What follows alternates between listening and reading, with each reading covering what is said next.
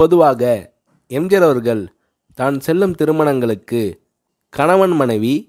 மாமியார் மாமனார் மகன் மகள் என்ற அழகான குடும்பத்துக்கு எம்ஜிஆர் அவர்கள் அளிக்கும் பரிசு ஆறு வெள்ளி டம்ளர்கள் ஆகும்